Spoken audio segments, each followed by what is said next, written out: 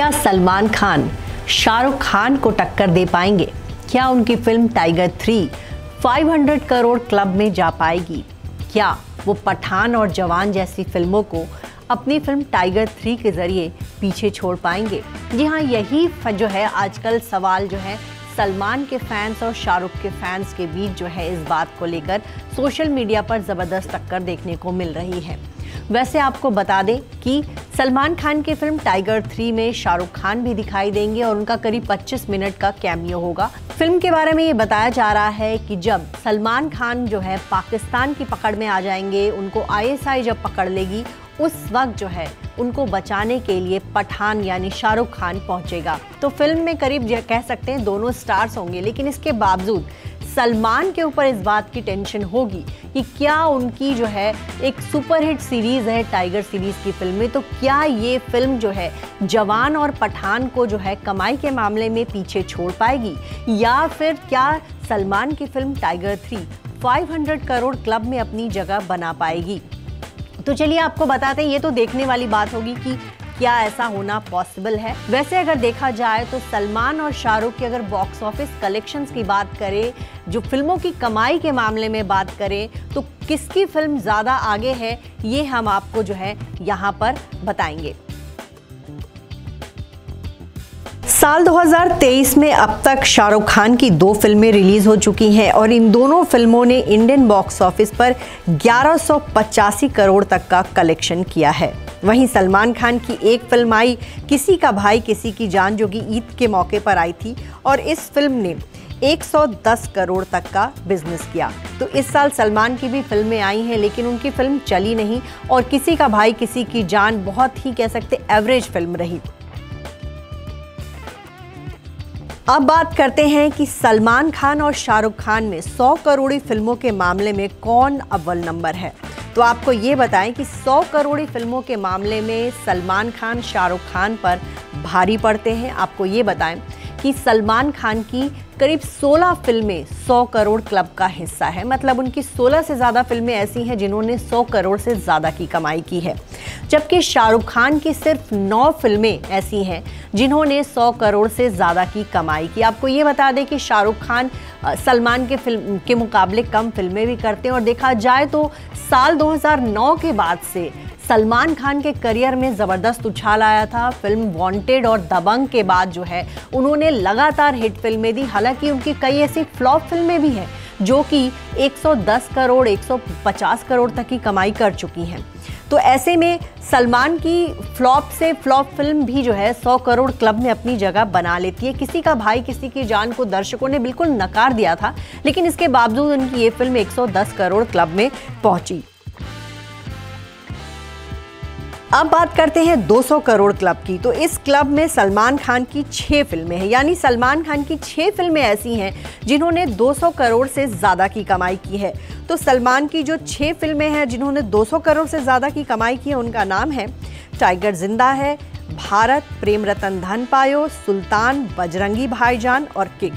आपको बताएँ कि सलमान खान के करियर की बात करें तो उनके करियर में फ़िलहाल सबसे बड़ी फ़िल्म है टाइगर ज़िंदा है और उनकी इस फ़िल्म का कलेक्शन करीब 340 करोड़ तक है। वहीं शाहरुख खान के करियर की सबसे बड़ी फ़िल्म है जवान और उनकी इस फ़िल्म ने इंडियन बॉक्स ऑफ़िस पर 642 करोड़ तक का कलेक्शन किया।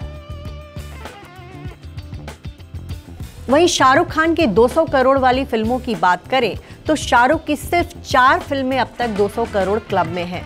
शाहरुख खान की फ़िल्म जवान और पठान तो 200 करोड़ क्लब में है ही। इसके अलावा उनकी फ़िल्म हैप्पी न्यू ईयर और चेन्नई एक्सप्रेस ने भी 200 करोड़ क्लब में जगह बनाई।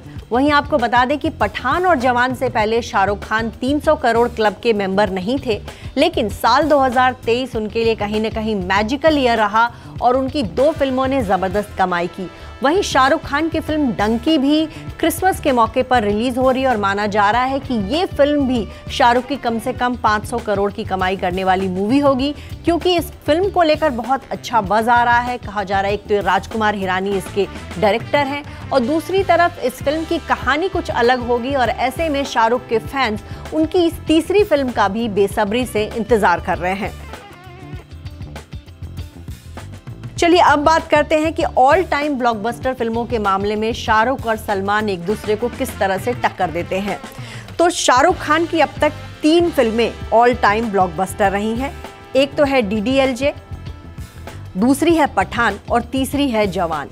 जी हाँ डी जो है शाहरुख खान के करियर की सबसे बड़ी फ़िल्म मानी जाती है, सबसे अच्छी फ़िल्म मानी जाती है। वहीं अब पठान और जवान को भी कह सकते हैं कि बॉक्स ऑफ़िस पर अच्छी कमाई करने की वजह से लोग जो है, इन दोनों फ़िल्मों की बहुत चर्चा रही। वहीं अगर सलमान खान की बात करें तो इनकी ऑल टाइम ब्लॉकबस्टर फ़िल्मों में से रही हैं, मैंने प्यार किया, हम आपके हैं कौन, और बजरंगी भाईजान। इन तीनों फ़िल्मों को सलमान के करियर में ऑल टाइम ब्लॉकबस्टर माना गया है। वहीं अगर हम फुटफॉल कलेक्शन की बात करें तो सलमान खान जो है इस मामले में शाहरुख खान से आगे हैं क्योंकि सलमान खान की फ़िल्म जो है आ, हम आपके हैं कौन उसको सात साढ़े सात करोड़ दर्शकों ने सिनेमाघर में जाकर देखा है।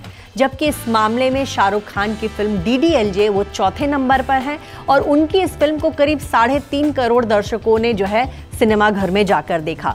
तो ओवरऑल अगर साल 2023 को छोड़ दिया जाए तो सलमान खान कहीं ना कहीं शाहरुख खान पर भारी थे। उनकी 16 फ़िल्में 100 करोड़ क्लब में हैं, उनकी 6 फ़िल्में 200 करोड़ क्लब में हैं। और साल 2009 के बाद से सलमान खान का करियर शानदार चल रहा था। बढ़िया बढ़िया फ़िल्में कर रहे थे। सलमान खान की कोई भी फ़िल्म डेढ़ सौ करोड़ से कम की कमाई करती ही नहीं थी। लेकिन ऐसे में देखा जाए तो अभी जो है फ़िलहाल शाहरुख खान ने ज़बरदस्त वापसी की, ऐसी वापसी की है कि बस पूरे बॉलीवुड को कहीं ना कहीं उन्होंने बिल्कुल जो घाटे में चल रहा था बॉलीवुड, उसको मुनाफे में ला दिया। और अकेले शाहरुख खान ने इस साल ग्यारह करोड़ की कमाई की और अभी उनकी एक और फ़िल्म डंकी जो है वो आनी बाकी है।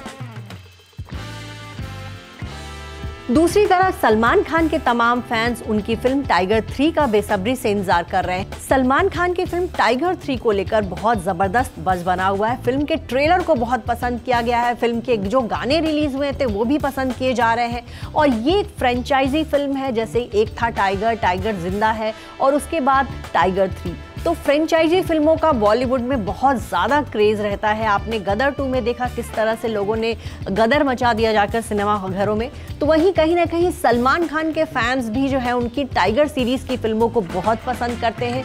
और माना जा रहा है कि टाइगर थ्री अब 500 करोड़ क्लब में तो जाएगी ही जाएगी, लेकिन ये देखने वाली बात होगी कि क्या सलमान खान, शाहरुख खान का रिकॉर्ड तोड़ पाएँगे। Thank you.